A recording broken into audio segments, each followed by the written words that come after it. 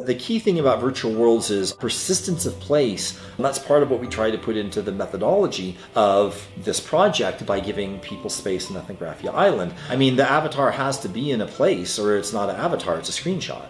Bodies are always in places. Embodiment is always in placement. To sort of go around and just hear your quick thoughts, what does your avatar mean to you? My virtual body. It's me. Tredi and Donna are one and the same. And we find that so many of the people in our community have created avatars that are the symbolism of who they are. And it kind of rethinks the way we think about who we're looking at. My mother turned 92 and she just found out that I'm on Second Life because my sister with dementia told her, Did you know that she's on this game and she's married to a white man and she's got six babies? And my mother out of her mind. I felt bad for her. An aspect of your persona is allowed to be expressed.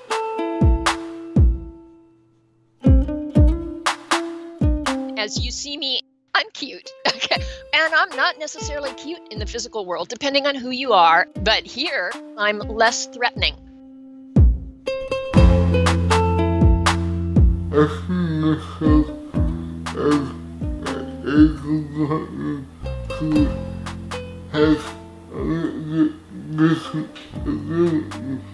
I see myself as somebody who has a little different abilities. We're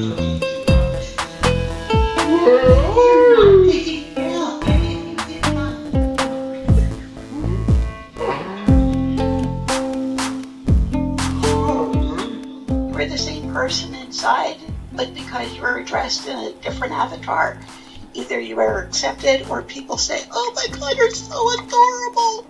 Or they just feel that you're some sort of freak and look straight through you.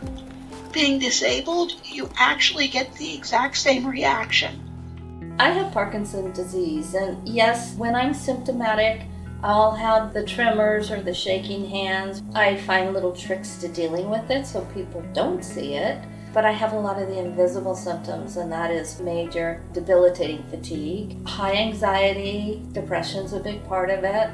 When people talk about invisible symptoms, they look at me and they think, you liar.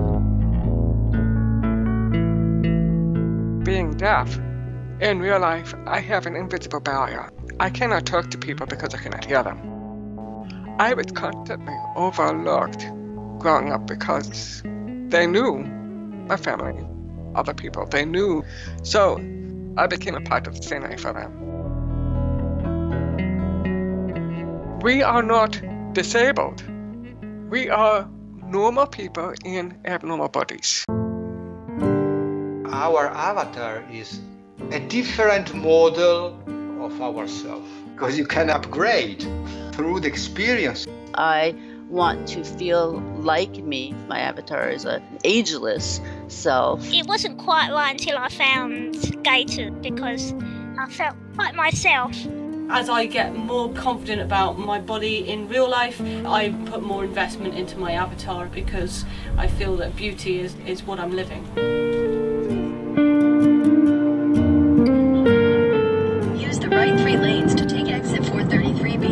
Was on a conversation with my best friend talking about Second Life, and my daughters will look at each other and they'll be like, they talk about that like it's real.